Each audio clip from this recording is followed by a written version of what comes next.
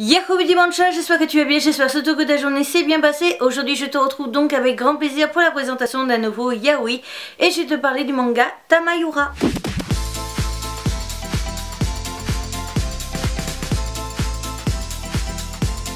Le euh, manga Tamayura est un one-shot des éditions Bozo dans leur collection Anna Collection. Nous sommes sur un manga qui est dans le genre romance et tranche de vie.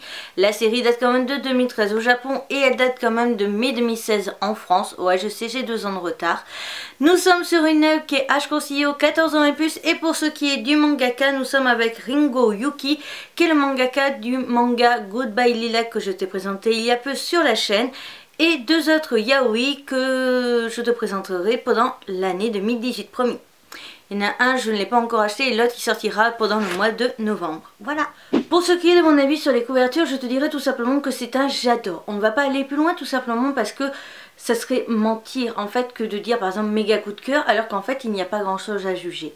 Pour ce qui est de l'avant, on a une sublime illustration, ça certes je te l'admets, avec justement un peu un aspect peinture qui est juste magnifique et divin, qui correspond tout à fait, une fois qu'on a vu la série, au genre de choix que personnellement j'aurais fait. Donc euh, en tout cas voilà pour moi c'est juste au top. Pour ce qui est de l'arrière on n'a absolument rien à juger parce qu'au final on a le résumé et c'est tout. On a juste une plus ou moins une phrase d'accroche en dessous mais c'est tout ce qu'on a parce qu'on ajoute l'illustration qui continue un tout petit peu, mais tellement peu qu'on n'a rien à juger. Donc c'est pour ça aussi que ma note ne peut pas être euh, très très haute. Quand on enlève la jaquette, on se retrouve tout simplement avec un fond vert, voilà, avec juste Anayaoi et ici le nom du manga et le nom du mangaka dans rien de particulier. Quand on ouvre le manga, on a droit à une sublime illustration en couleur que je trouve juste trop mignonne et divine. On se retrouve une fois de plus avec donc l'illustration qu'on avait tout à l'heure donc sur la jaquette. Donc moi je suis un petit peu déçue là-dessus et après on passe avec la page de chapitre qui est tout à fait basique. Donc comme en plus euh, la page de sommaire est toute basique aussi donc forcément Manon ne peut pas aller plus loin qu'un j'adore étant donné qu'il n'y a pas grand chose au final à juger. Pour ce qui est de mon avis sur la qualité du dessin je te dirais tout simplement que je l'ai autant adoré que pour le précédent manga que j'ai lu de l'auteur. En ce qui concerne par contre mon avis sur la série, à savoir déjà que nous sommes sur un manga où euh, un truc vraiment qui a joué fort au niveau de mon avis sur la série, c'est tout simplement qu'on est sur enfin l'idée du manga, la première note que tu as toujours, la première ligne, tout simplement parce qu'on va être sur un manga où ça se passe en 1922. Donc ce n'est pas du tout un manga d'actualité et surtout, enfin de notre époque, et surtout ça permet de nous montrer les relations entre deux garçons à cette époque-là. Ce qui était donc une époque où c'était... c'était voilà, on pouvait pas. On pouvait pas, c'était pas bien vu, c'était tout ce que tu veux. Donc le faire en douce, oui, mais tu pouvais pas du tout te mettre en couple avec ce genre de personnes, etc. Et c'est ça qui est vraiment intéressant parce que ça nous permet d'aborder ce sujet à une ancienne époque que nous ne connaissons pas parce que à part les gens qui sont de la génération de mes grands-mères et encore, ils n'étaient pas nés à cette époque-là, et ben voilà. Donc déjà ça c'est un gros point fort par rapport à la série et quelque chose que j'ai vraiment su apprécier parce que c'est important et c'est vraiment très présent dans le scénario et c'est ça aussi qui fait sa force. Parce qu'honnêtement on serait tombé sur, on nous dit dès le départ qu'on est en telle année et après on voit pas vraiment la différence entre maintenant et autrefois, ça aurait été décevant. Alors que là vraiment c'est bien mis en avant et c'est très très bien travaillé. Pour ce qui est de l'histoire, j'ai adoré le scénario, j'ai adoré la façon dont l'auteur a développé son histoire, une histoire très belle, très touchante, très poignante et destructrice comme pas possible, mais c'est tellement beau et ça fait tellement du bien de lire ce chant d'œuvre. Surtout que ce que j'adore, c'est que vraiment les personnages, bah, comme on est dans une certaine époque, ils ne le font pas forcément.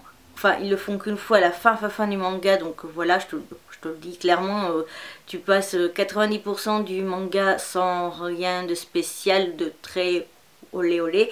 Et c'est ça que j'ai apprécié parce qu'en fait, ça faisait une histoire d'amour pas sans scène de euh, charnel parce qu'il y en a une, mais c'était quand même bien travaillé et la façon dont c'était fait en fait, le fait tout simplement, oui je sais, je dis beaucoup en fait, le fait que tout simplement l'histoire se passe et que ça ne se fait qu'à la fin tout simplement parce que dans ce genre d'époque, dans ce genre de situation, ils n'auraient pas pu faire autrement, ils n'ont pas pu faire autrement a fait que c'était vraiment très beau.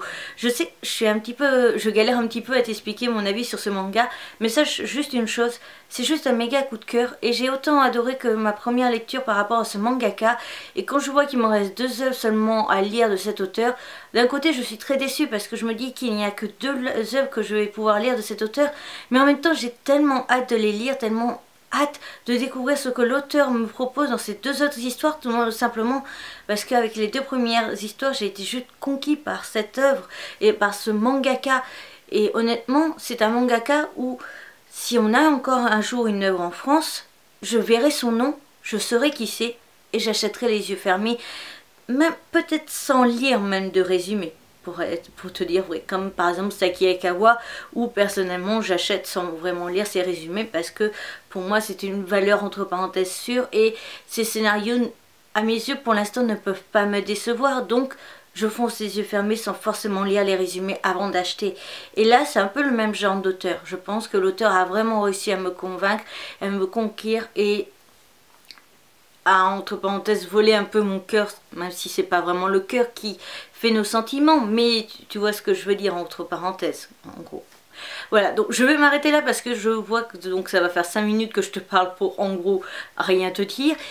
Mais sache en tout cas que c'était vraiment un excellent manga. De toute façon, je t'aurais mis une petite note pour que tu puisses savoir l'ensemble au niveau du scénario et comment c'était développé.